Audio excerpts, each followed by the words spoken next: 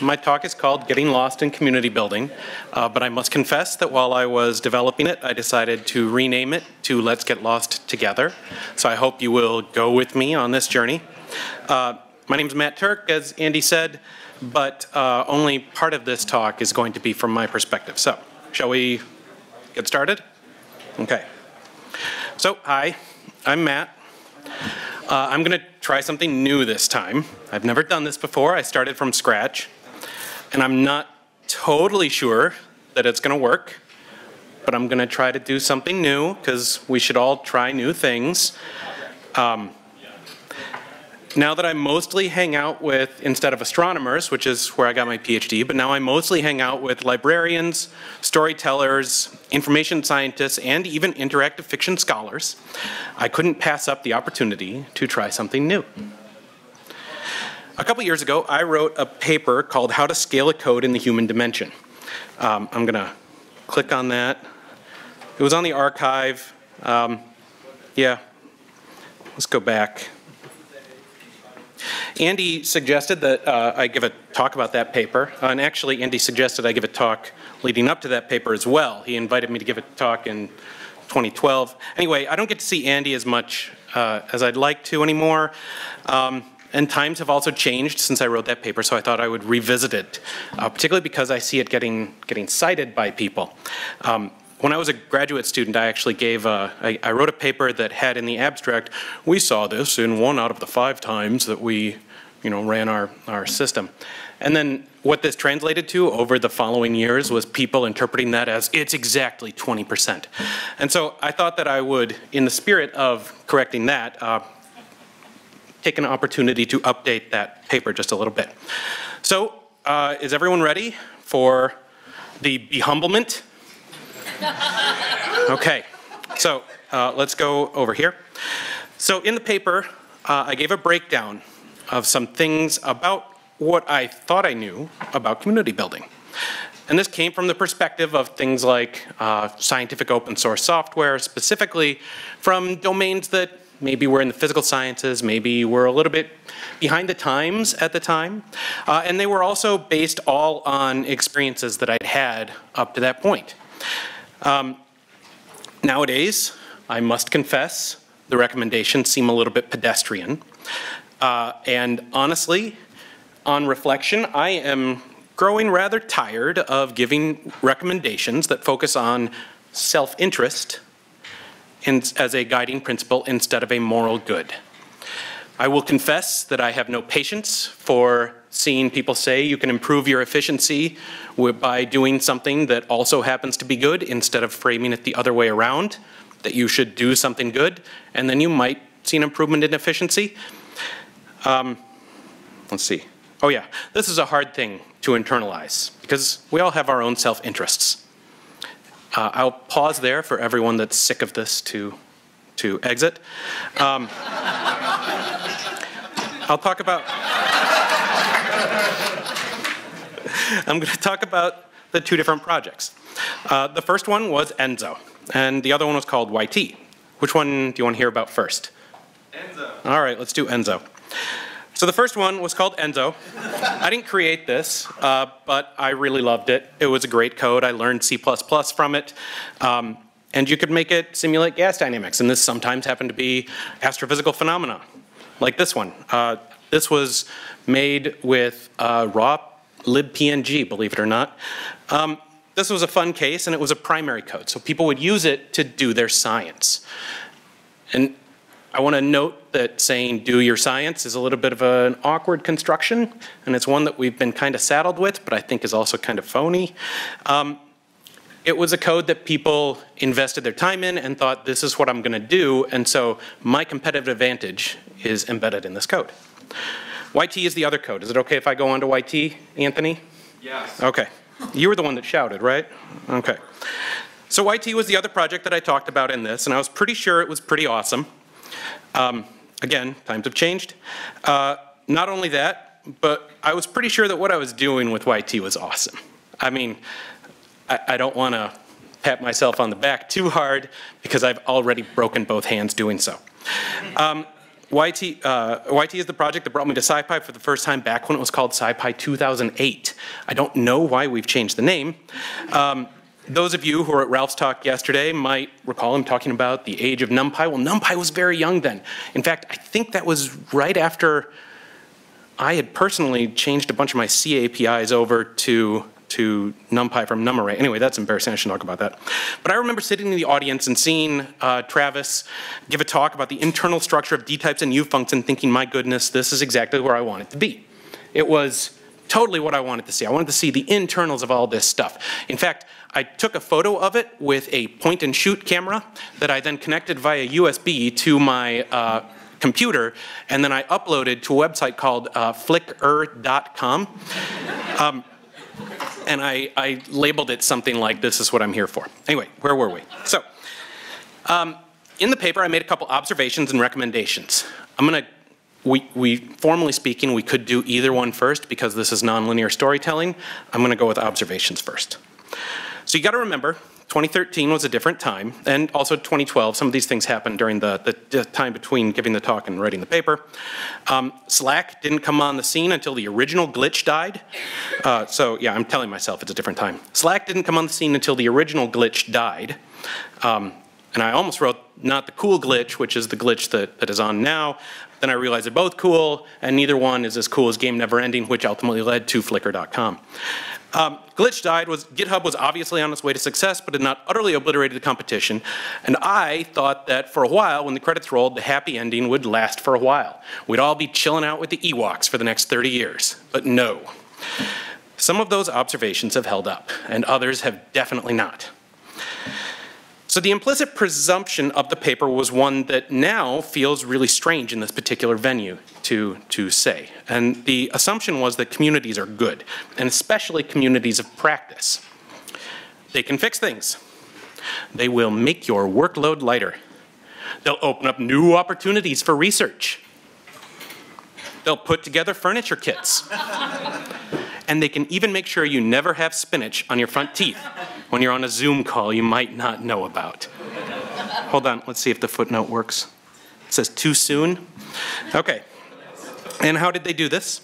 The idea that I was trying to get across, uh, which was mostly to people that were resistant to, to ideas like this, um, that didn't want to engage with people outside of their research group, was to align your interests with the interests of the other community members. All of a sudden now we're all working towards the same goal and so I can leverage all the stuff that you're doing so that I can get ahead. So based on this I made a couple recommendations.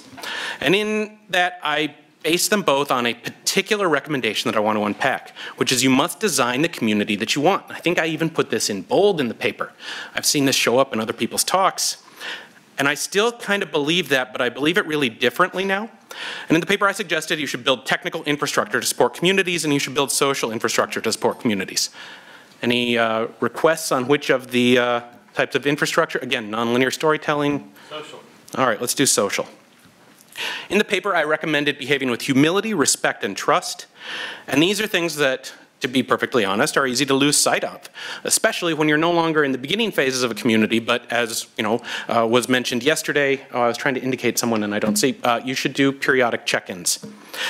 They're easy to lose sight of and things become more complicated. So humility, how do you respond to negative feedback? Do you get really resentful when somebody tells you that something doesn't work? Do you snap back at them? You tell people that they're just not understanding? Or do you respond with empathy and care?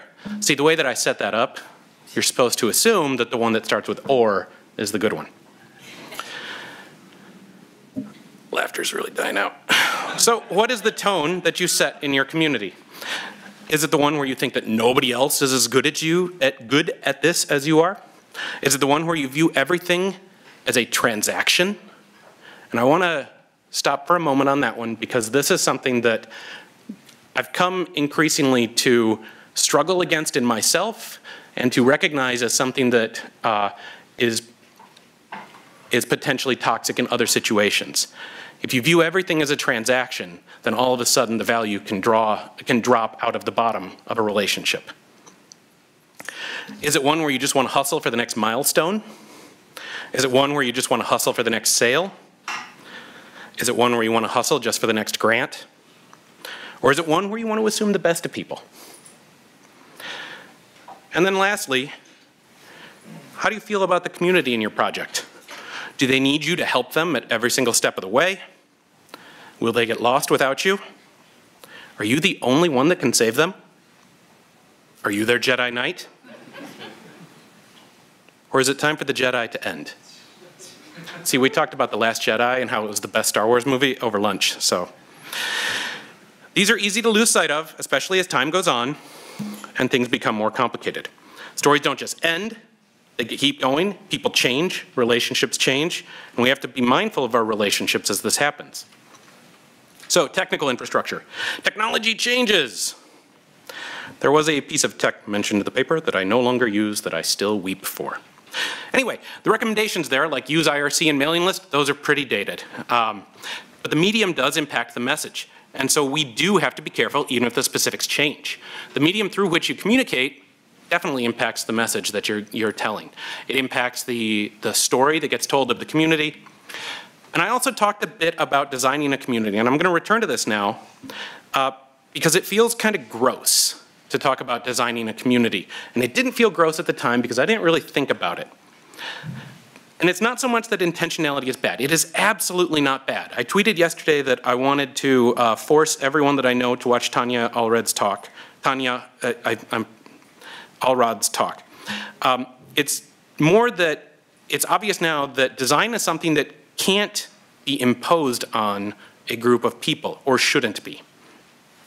Imposing a community or a design for a community on people means making decisions for them, which implicitly means asking them to assimilate. And that's inappropriate, and it's something that I didn't really recognize at the time. But assimilation is the opposite of fostering diversity in the sense that it spreads the discomfort to the people that have to assimilate instead of evenly distributing it. I'm sure there's a much more elegant and thoughtful way of saying this, and I look forward to, to hearing thoughts on that. But this is inappropriate, and the big one that people seem to take away, probably because it was in bold, uh, was a pretty strong one, which is that the application of a term user with its connotations results from self-assigned roles or perceptions of individual abilities. And I said that as peers, because we're all in the scientific research process together, this distinction is harmful between users and developers because we're occupying that gray area in the middle. And I still kind of believe this, but it also removes agency from both people involved in this. Maybe not everyone needs to be a developer. This was something I didn't really grasp and something I wish I could go back and explain to myself, uh, along with, of course, my now uh, somewhat tattered copy of Gray's Sports Almanac. Not everyone needs to engage at the same level. And like Tania Allard said yesterday, engagement is a function of privilege. Not everyone wants what I want, for instance. And most importantly, my experience is not necessarily replicable. And so all of this imposition of community standards, of community interactions, stem from this notion that an experience is replicable, and so there, there is a right way to do it. I thought it was all just a game that I could optimize. And more than that, I thought it was all a game I could optimize and win. Does anyone see where this is going? Carol does. Let's play a game of pretend so let's say you're starting out a new project. What do you want to name your project? Ewok. What do you want it to do? Blow up Death Stars. it's, it's an astronomical kind of project.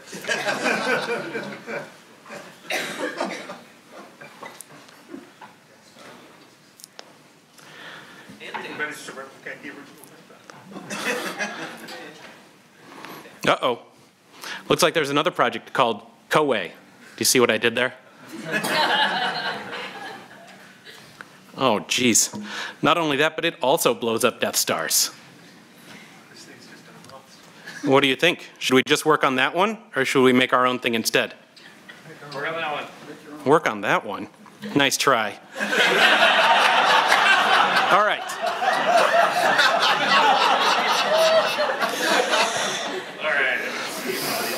Yeah. So you, uh, so we're working on Project Ewok, and uh, now we've got points and burnout. all right? Because those are the two only ways to measure the success of a project. Uh, you've been at this for eight weeks and one day.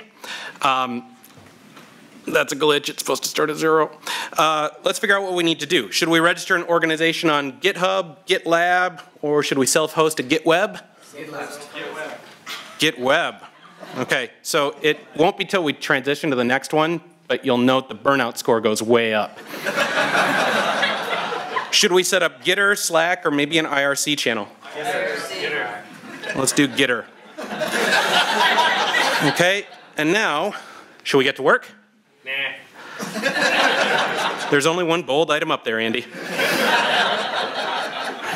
Okay, so already we're starting out a little burnt out, uh, and our community points are not that high, and we've only been at this for eight weeks and two days, and there's a ton of functionality to implement. So do we write code? Do we tell people about it? Uh, or could we fix bugs? Or should we use it? All right, let's write some code. That was really, really hard, and it seemed to be pretty useful. Okay, so we got some burnout, but the points only went up a little bit. All right. Okay, now what? Let's tell people about it. Oh, you just gave a terrible, terrible poster. that really takes it out of you. So, what should we do now? Fix some bugs. Let's fix some bugs. Okay. Fixing bugs is really hard. You managed to solve two of them, and it really, really took it out of you. Here, let's go back. I kind of want to write some more code. that was pretty straightforward, and it also seemed to be pretty useful. Well, I, I'm going to keep writing code. Ah, that was useful. or useless. Okay. Taxing, but worthwhile. See, my community points are going up. All right, let's tell people about it. Oh, I just gave a sort of crummy lightning. Hmm, I feel seen. Um, my goodness, that really takes it out of you. Uh, let's do it again. Ooh, okay, lightning talk. And uh, let's fix some bugs. Ooh, it's really hard. It strained me a little bit. Let's fix some bugs. Okay, uh, should, why don't we use the project? All right. I got a few more things done. That was kind of okay, right? Here, I'm going to keep using it because now, you know, I'm writing my thesis or something, right? Or a paper.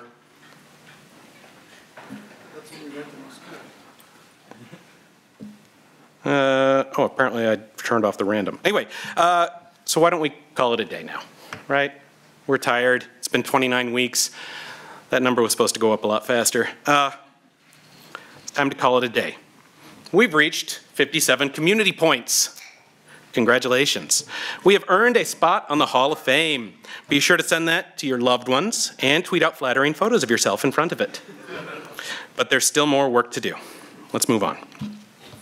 Here's the thing about what we've kind of been up to up here. And it's at this point that I worry that I should have set a timer so I knew what time it was. Uh, we've been measuring stuff in a really simplistic way, right? That was all for yucks. And not only simplistic, but also a really self-serving way too. This story was all written in the second person. And I have a question for you. Did you interpret it as the second person plural? Or did you interpret it as the second person singular? Okay.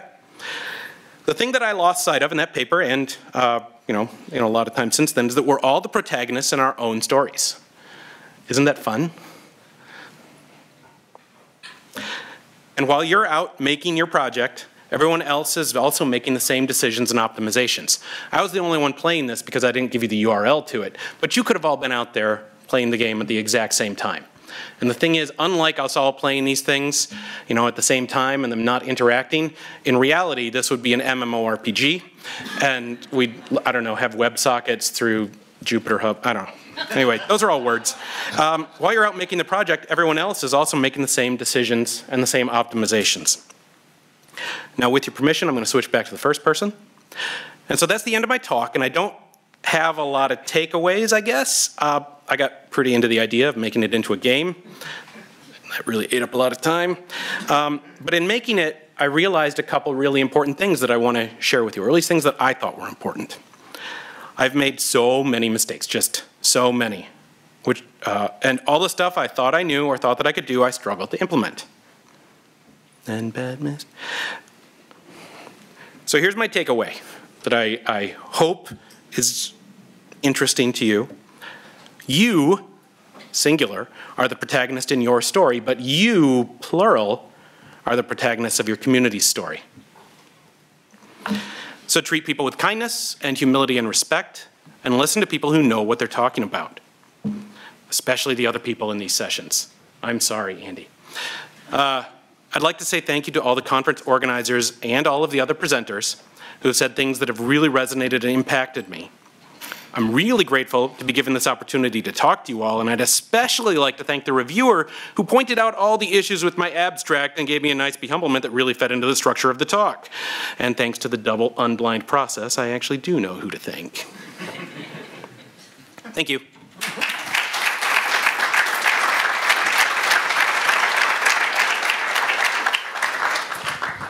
Any questions? Awesome. I was really sweating that I'd have to ask one.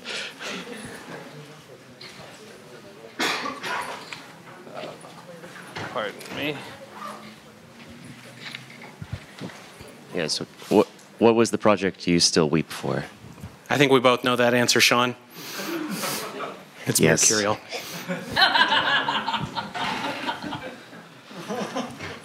All right. Anybody else? Oh, going over there. Fun trivia fact the place we had the first talk was a place called ISIS, which is poorly named. But it has a C, right? Uh, not anymore.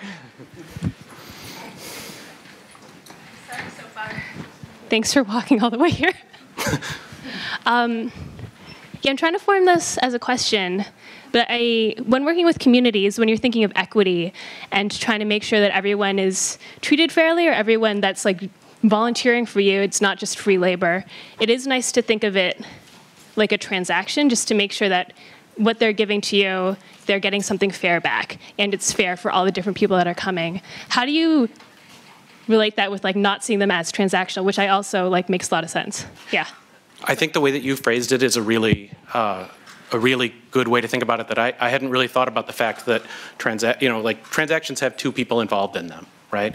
And I guess from a from a capitalistic perspective, you want to get more out of it than you give out, right? And I think that uh, letting go of that might be a good way. But honestly, I would ask you for your your thoughts on that and how to how to frame it.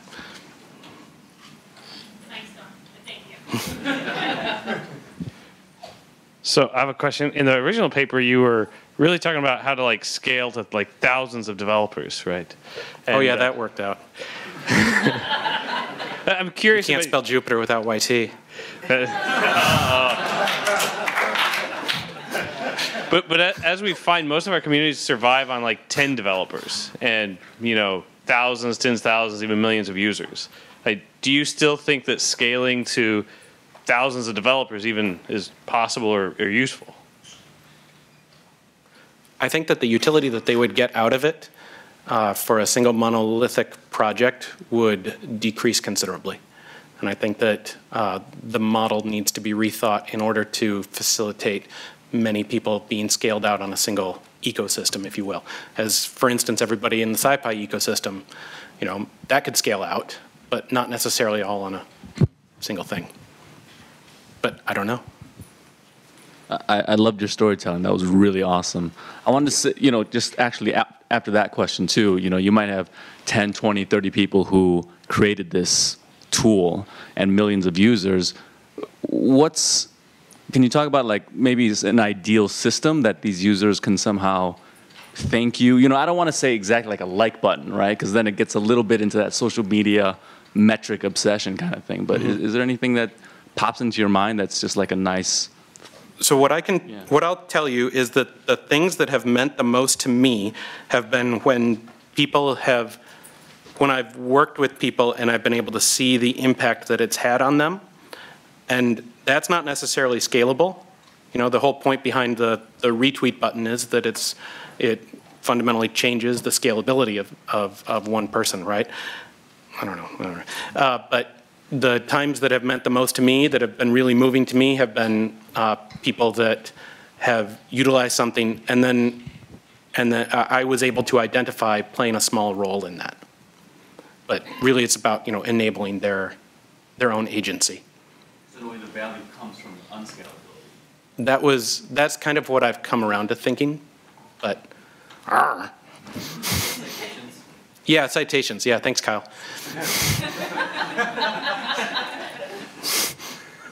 So I think particularly as a project scales up in the number of developers, I don't know, do you feel that there is a sort of a, a, a balance to strike? So, so you mentioned the importance of, for example, a community being sort of non-assimilative.